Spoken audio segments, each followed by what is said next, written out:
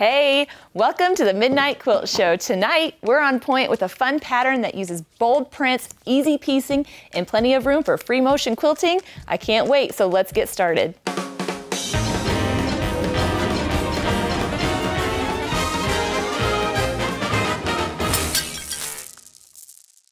So I have everything I need to get started tonight, and it's in my, my special box that I keep hidden from the rest of my family. I have the background fabric for this quilt, and I also have the rest of my fabric, some thread, and a few snacks to get me through the night. I think that should be almost enough. For the On Point quilt, I'm using this pre-cut strips of Boundless Flower Shoppe. Beautiful floral prints I can't wait to get started using. And of course, my favorite part of any project is the first unveiling of the fabric. Now the pattern that I'm working with is actually very similar to the Strip City, one that I've done before, but I loved it so much I thought it'd be fun to do it again with a little twist and then spend a little bit more time on the machine quilting.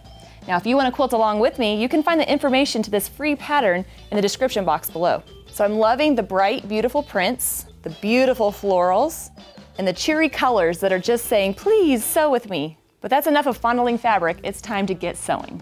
So for the blocks, I need to make a strip unit, which has the two pre-cut strips, but I have to do a little bit of cutting, but it's fine. I'm gonna use this background fabric, which is gonna be used throughout the whole quilt, and I'm gonna go ahead and cut my nice wide strip. Sorry, I have to count to make sure I actually am cutting it the right size. Oh, sometimes I crack myself up. So what my unit is gonna look like is I'll have my background and then two prints randomly picked. Of course, I'm trying to make it as scrappy as I can do. Now, just time to sew it together. Before I sew, a little snack. I love the little sayings. Angela, your seams will be perfect. Hmm. I like that.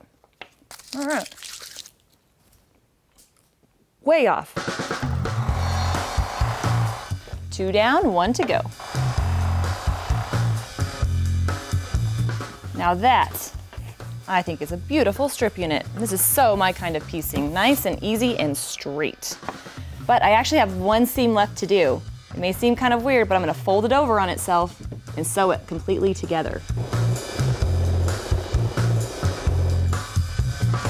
So I finished sewing and I either have a really cute scarf or the first strip unit to my quilt. And since it's not the Midnight Scarf Show, I guess I'll keep going with uh, the quilt. So what I'm gonna do is lay it here and I'm gonna start cutting into it. Now it's still that same strip unit that's completely sewn together and I'm gonna take my ruler and lay it on here so that that line is along that bottom seam. And that's just helping me make sure that this angle is correct. So once I have it in place, my line on the seam, my nice angle, I'm gonna take a deep breath and cut it and hope that I'm doing this right. Now when I go to do the next one, I'm gonna line my row up with the top seam, so it's gonna be flipping directions. And there I have the first block of my strip. And I'm gonna keep doing that, thinking about how cute this is gonna look when it's finally finished. You're gonna tell the blocks are starting to look different because I'm rotating the direction I'm cutting, and that's good. That's actually what it's supposed to be doing. And even if it isn't, that's what I'm gonna say it's supposed to be doing. How pretty is that? Just love how I can sew three quick seams and have a bunch of fun blocks. This is definitely my kind of piecing. Now each strip unit should give you four blocks each of the two different kinds. So once that's done, all it's left to do is open them up. Now when I lay the block in front of me, it still has a little bit of sewing right here that's keeping it together like a little secret. But I can pull it apart and open it like a fun little present. And there is my first block. Now I'm just gonna do the same with all of them. Now I have two sets of blocks that are the same but different, and all I have left to do is to iron them and trim them, then I can start making my block. Now these cuties are ready to be put together. Now for each block I need two. So here you can see I have two of the same blocks ready to go. And what I'm going to do is just rotate them and line them up like that. And that makes one block for my quilt. I love how it makes this little V right there. Of course I'm easily amused, so that does help and you can see what the second version is gonna look like. Now, if I wanted to, I could be crazy and mix it up and you know, make them look like that, but I'm not going to. You know why? Because the pattern says not to do that, and I'm a rule follower. I'm gonna do what it says to do. I'm just gonna fold them together and go ahead and sew them along that seam. So here are two of my blocks, and I need to make a bunch more of those so I can make my quilt. So I'll do that and I'll show you how they go together. Each row has six blocks. I'm gonna sew those blocks together, add some borders, and then I'll have my finished quilt. I love the beautiful colors of the quilt, and I especially love the scrappy layout of it. how it required no thinking on my part. Now I have to base this quilt sandwich so that I can get to the quilting. I love to use fusible batting when making my quilt sandwiches. First, I lay down the backing, lay the batting sticky side up, then lay out the top. Using an iron helps hold it all together. Since this quilt is so easy to put together, I get to spend a little bit more time showing you how I like to quilt my quilts. So here's the block. What I love to do is first start with the walking foot. That allows me to get nice, precise, straight lines without a lot of effort, which is great this late after midnight. Then I'm gonna use actual points on the blocks as reference points that I can use for the quilting so that I don't have to do any marking, which is another win for late night quilting. Now you could just quilt one block at a time, but I'm gonna join several blocks because it's a more efficient way of quilting. I'm gonna go from one point to inside to the point, and then do the same on the opposite side of the next block. What that allows me to do is quilt nice long straight lines so I don't have to reposition the quilt so much. Then, when I'm ready to come back, I can do the same on the opposite side, going from point to point, kind of guesstimating about an inch within that next corner, and coming back. Now the benefit of this is, like I said, it's a more efficient way to do it. Those lines always cross at these points, which makes my quilting look perfect-ish or let's just say mediocre-ish. Either way, it's gonna look great. So I can't wait to get started.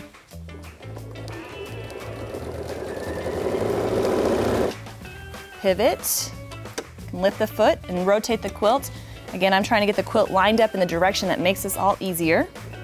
And go on to my next point.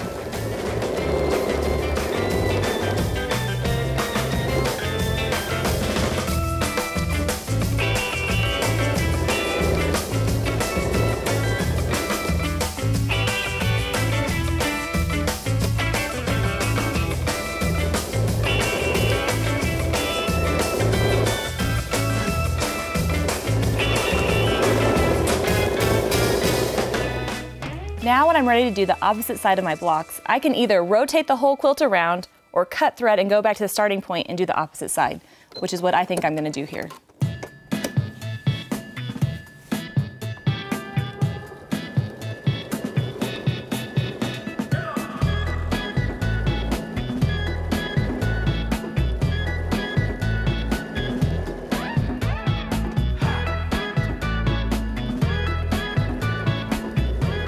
I went ahead and quilted a series of blocks so that you can see what this is looking like. Nice straight lines that go from point to point. Well, they're more like straightish, but that definitely works for me. Now if I wanted to add a little bit more quilting to it, which I do because I love to quilt them a lot, usually I say add too much quilting and then put on a little bit more. But I'm gonna do the same thing, but just have my lines echo within the one I've just quilted. So same basic idea, just a different ending point.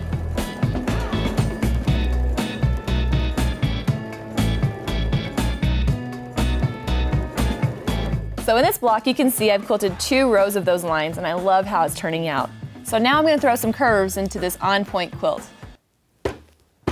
I'm sorry.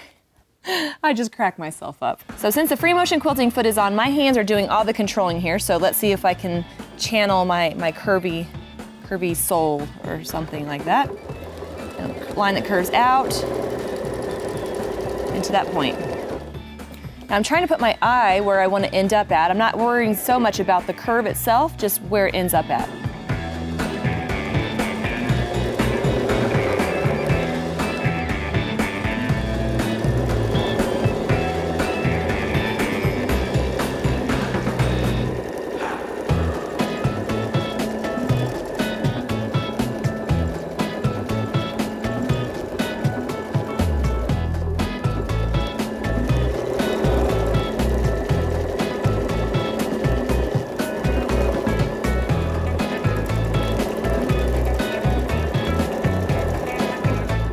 Okay, it looks like I need a little bit more practice, so I'm gonna keep on going.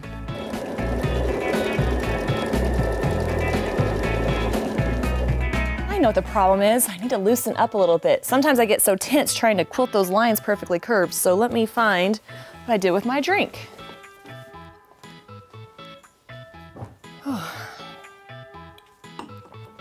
In free motion quilting, sometimes trying harder isn't the answer. It's relaxing and just having fun with it. Now that should go on a chocolate wrapper right there.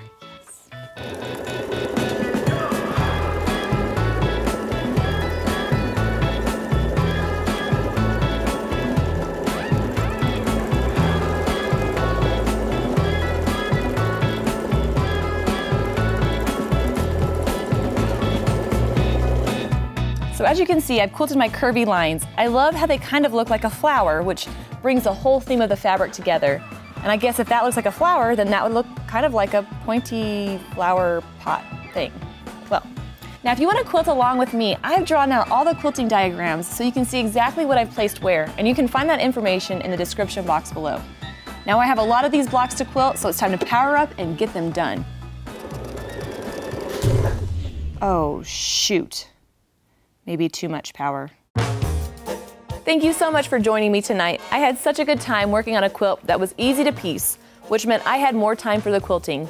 Using the walking foot and the free motion quilting foot resulted in some fun quilting that left me plenty of time for snacking. In fact, I think I deserve a treat.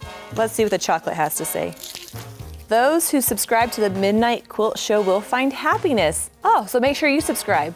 Thanks so much, and I'll see you later.